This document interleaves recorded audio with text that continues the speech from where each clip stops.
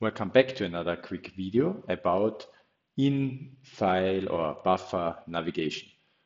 With up and down, you can go up and scroll up and down in the view.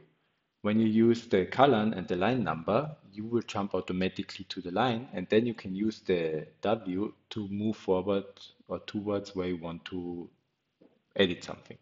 But there are better ways to do that, especially if, let's assume you search for one thing which is exactly existing once, like then. So I use the slash, enter then, hit enter, and it will bring me directly to the then.